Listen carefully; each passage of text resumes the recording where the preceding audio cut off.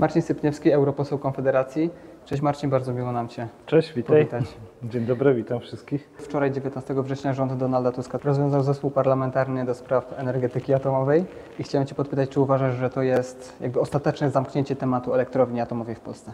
W końcu trzeba by ją zacząć budować, bo my do tej pory strasznie duże pieniądze już wydaliśmy na to, że, e, że budujemy elektrownię, tam urzędnicy siedzą i e, dostają za to pieniądze, płacimy za jakieś plany, a tak naprawdę ta budowa nadal nie rusza i trzeba by w końcu to przyspieszyć i ją zacząć budować, bo tak naprawdę jeżeli nie zmienimy nic z kopalniami, to grozi nam to, że przez kilka lat nie będziemy mieli żadnej solidnej bazy dla energetyki, bo nie będziemy mogli już korzystać z węgla, a nie będziemy jeszcze mieli zbudowanej elektrowni atomowej. Także ja w ogóle sobie nie wyobrażam, jak te rządy do tej pory rządziły, że one nie zapewniły nam e, jakiejś solidnej bazy, żebyśmy mieli skąd prąd mieć. Niemcy tak zamykają swoje kopalnie, że będą w stanie po prostu je za chwilę otworzyć. Mhm. Wydaje mi się, że za rządów Prawa i Sprawiedliwości my zamknęliśmy tak swoje kopalnie, że już nie będziemy ich w stanie No to otworzyć. mówiłem właśnie, że nie, albo nie będziemy w stanie, albo będzie to wymagało strasznie dużych nakładów finansowych.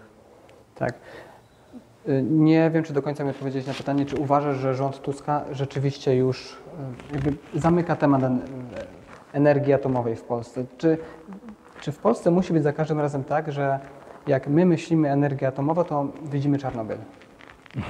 Znaczy tak nie jest, bo jednak dużo ludzi popiera budowę y, elektrowni atomowej, zwłaszcza takich, którzy sobie zdają sprawę, że na czymś tę tę energetykę trzeba e, oprzeć.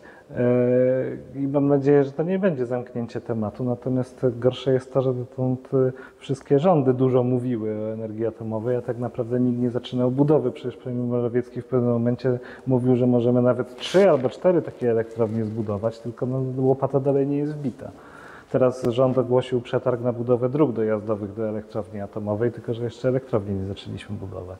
No, tak jak u nas wiele rzeczy zaczyna się najpierw od, Od drogi, od tego, od trzeciej drogi.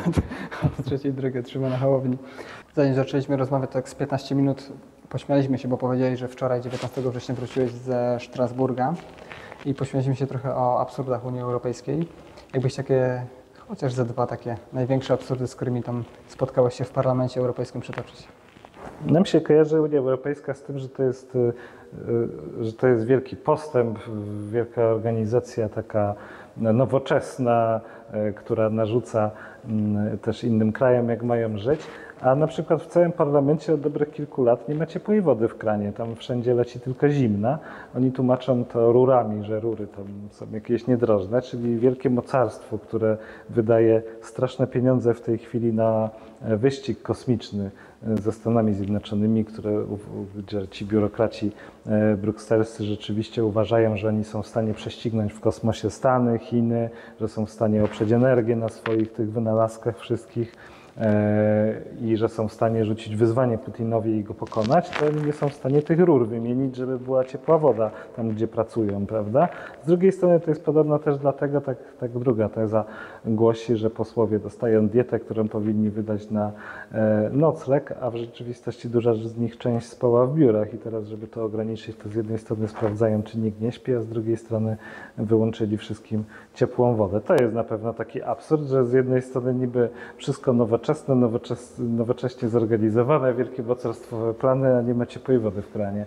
E, Także to jest jeden, jeden absurd. A drugi absurd to metoda głosowania. To w ogóle no, to nawet demokracja żadna nie jest, bo e, głosowanie, typowe głosowanie w Parlamencie Europejskim wygląda tak. E, Poprawka tam numer jeden do artykułu 13, kto jest za, kto przeciw, kto się wstrzymał, przeszło. Poprawka numer dwa i tak dalej. I tam w ogóle przewodnicząca nie patrzy, czy ktoś głosuje za, przeciw, czy się wstrzymuje. Nikt tych głosów nie liczy, nie ma żadnych wyników głosowań. Proszę sobie wejść na stronę e, Parlamentu Europejskiego i sprawdzić wyniki głosowań. Tam są tylko głosowania imienne przy wcisnięciu przycisku. Natomiast nie ma wyników głosowań e, za podnoszeniem ręki, bo nikt tych głosów nie liczy. Ona patrzy tylko w pierwszy rząd i tak jak się jej wydaje, tak mówi, że przeszło, nie przeszło. Wczoraj nawet e, przewodnicząca powiedziała, chyba przeszło w pewnym momencie. A trzy razy, kiedy sala krzyczała, żeby powtórzyć głosowanie i na głosowanie imiennym się okazało, że był inny wynik niż przewodnicząca mówiła. Także to ta organizacja, która wszystkich poucza na temat demokracji i praw człowieka, nawet nie potrafi głosów policzyć i tak niestety to wygląda w Unii Europejskiej. Marcin, ostatnie dwa pytania, bo jest tutaj też sporo ludzi, którzy mnie zlinczują, jeżeli, jeżeli dalej będę z Tobą rozmawiał, bo też chcieliby z Tobą porozmawiać. E, Kampania wyborcza. Dwa pytania. Sławomir Mencen, Grzegorz Braun. Przy, przede wszystkim, jaki wynik zadowoli Sławomira Mencena podczas kampanii wyborczej? Zwycięstwo.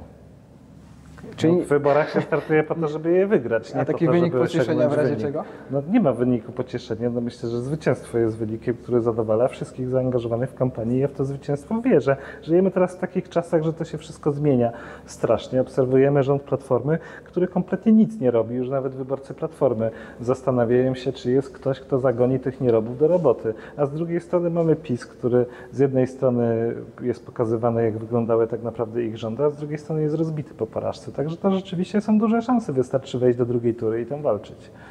z Rafałem Trzaskowskim czy z kimś z PiSu? No chyba bez różnicy, no, kto tam będzie w drugiej turze. Ostatnie pytanie o Grzegorza Brauna. Grzegorz Braun planuje wystartować sam w wyborach, czy, czy nie planuje?